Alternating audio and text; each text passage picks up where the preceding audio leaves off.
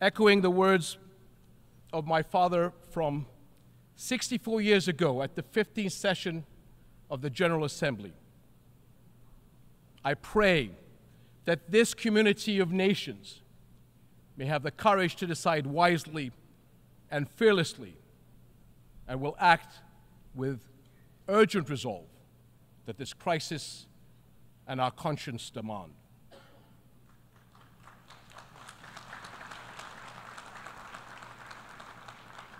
My father was a man who fought for peace to the very end. And like him, I refuse to leave my children or your children a future we have given up on. Thank you.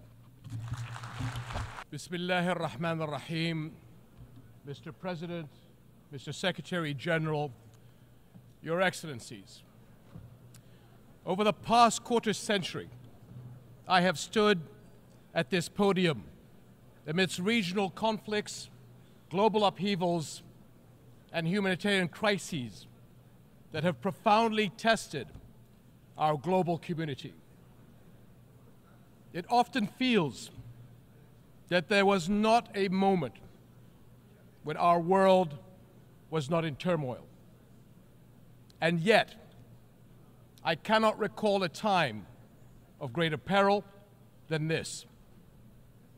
Our United Nations is facing a crisis that strikes at its very legitimacy and threatens a collapse of global trust and moral authority.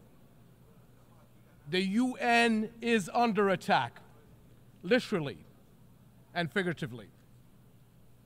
For nearly a year, the sky blue flag flying over UN shelters and schools in Gaza has been powerless to protect innocent civilians from Israeli military bombardment. UN aid trucks sit motionless just miles away from starving Palestinians. Humanitarian workers who proudly wear the emblem of this institution are disparaged and targeted and the rulings of the UN's International Court of Justice are defied, its opinions disregarded. So it's no surprise that both inside and outside this hall, trust in UN's cornerstone principles and ideals is crumbling. The harsh reality many see is that some nations are above international law. That global justice does bend to the will of power, and that human rights are selective, a privilege to be granted or denied at will. We cannot stand for that. And we must recognize that undermining our international institutions and global frameworks is one of the gravest threats to our global security today. Ask yourselves if we are not nations united in the conviction that all people are equal in rights, dignity, and worth, and that all countries are equal in the eyes of the law, what kind of world does that leave us with? Your Excellencies, the attacks of October 7 on Israeli civilians last year were condemned by countries all over the world, including Jordan. But the unprecedented scale of terror unleashed on Gaza since that day is beyond any justification. The Israeli government's assault has resulted in one of the fastest death rates in recent conflicts, one of the fastest rates of starvation caused by war, the largest cohort of child amputees, and unprecedented levels of destruction. This Israeli government has killed more children, more journalists, more aid workers, and more medical personnel than any other war in recent memory. And let us not forget the attacks on the West Bank.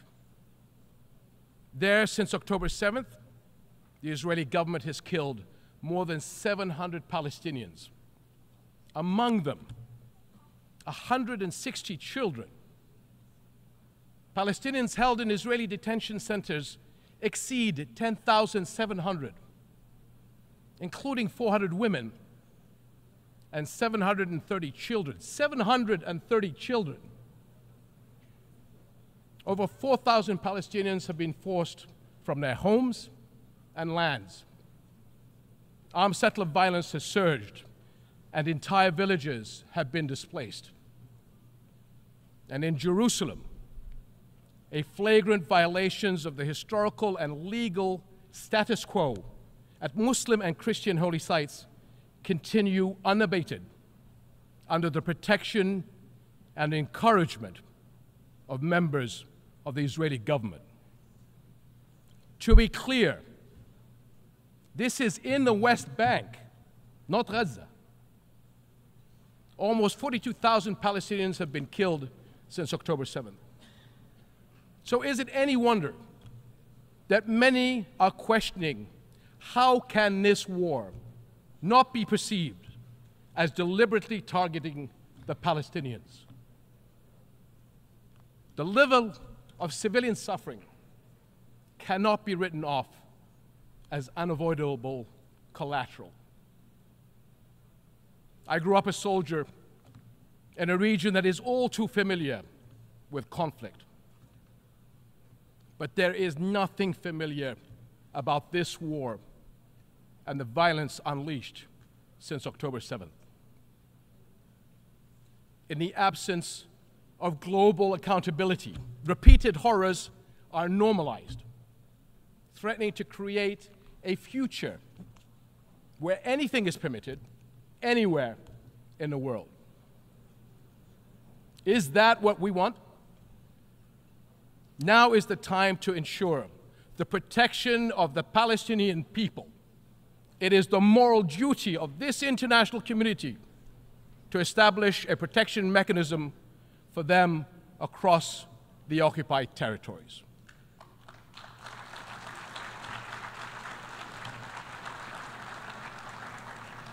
This will guarantee the safety of Palestinians and Israelis from extremists who are taking our region to the brink of an all out war. That includes those who continue to propagate the idea of Jordan as an alternative homeland. So let me be very, very clear. That will never happen. We will never accept the forced displacement of Palestinians, which is a war crime.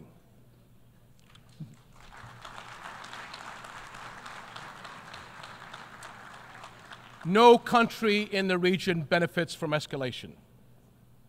We have seen that clearly in the dangerous developments in Lebanon over the past few days. This has to stop. For years, the Arab world has extended a hand to Israel through the Arab Peace Initiative, offering full recognition and normalization in exchange for peace. But consecutive Israeli governments, emboldened by years of impunity, have rejected peace and chosen confrontation instead.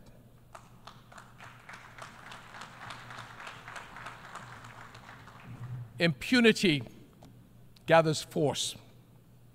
Left unchecked, it gains momentum. Palestinians have borne more than 57 years of occupation and oppression. During this time, the Israeli government has been allowed to cross one red line after another. But now, Israel's decades long impunity is becoming its own worst enemy, and the consequences are everywhere. The Israeli government has been accused of genocide at the ICJ. Expressions of outrage at its conduct are echoing around the world. Cities everywhere have seen mass protests and calls for sanctions are growing louder. International frustration with Israel has long been mounting, but it has never been more exposed. For decades, Israel has projected itself as a thriving Western style democracy in the Middle East. But the brutality of the war on Gaza has forced the world to look closer. Now many see Israel through the eyes of its victims. And the contradiction, the paradox, is too jarring. The modern advanced Israel admired from afar, and the Israel that Palestinians have experienced firsthand, simply cannot coexist. Israel will eventually be entirely one or the other. That is the choice its leaders and its people will have to make. To live by the democratic values of freedom, justice, and equality for all, or to risk further isolation and rejection. Over and over, we have watched Israel try to achieve security through military means. Each escalation is followed by a pause until the next deadlier one. And for years, the global community has taken the path of least resistance, accepting the status quo of the ongoing military occupation of Palestinians, all the while paying lip service to the two state solution. But it has never been more evident that the current status quo is untenable. And as the International Court of Justice's advisory opinion underscored two months ago, it is unequivocally illegal. The court's opinion bears a moral imperative to us all. The obligation it carries is one that our nations cannot afford to ignore for the sake of our world as well as the future for Palestinians and Israelis alike. Because both peoples deserve to live their lives in dignity, free of violence and fear. And the only way to achieve that is a just peace, one grounded in international law, justice, equal rights, and mutual recognition. That is something we as nations and people everywhere can and must unite around. Your Excellencies, the world is watching, and history will judge us by the courage we show. And it is not just the future that will hold us accountable, so will the people of the here and now. They will judge whether we, as the United Nations, will surrender to inaction or will fight to uphold the principles that anchor this institution and our world. Right now, they are asking whether we will stand by as parents watch their children's waste away, as doctors watch their patients die for lack of basic medical supplies, and as more innocent lives are lost because the world failed to act. This war must end. Hostages and detainees must return home. But every day we wait is one day too long for far too many.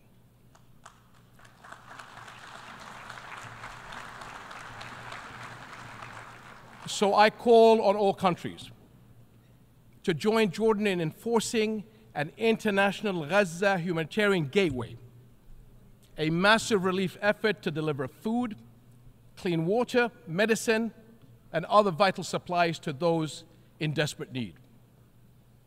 Because humanitarian aid should never be a tool of war.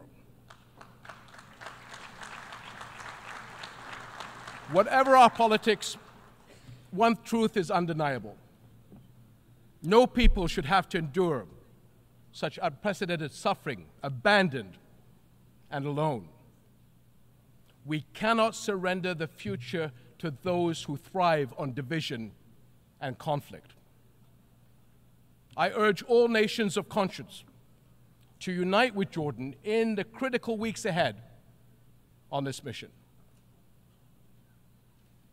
Almost a year into this war, our world has failed politically, but our humanity must not fail the people of Gaza any longer. Echoing the words of my father from 64 years ago at the 15th session of the General Assembly, I pray that this community of nations may have the courage to decide wisely and fearlessly and will act with urgent resolve that this crisis and our conscience demand.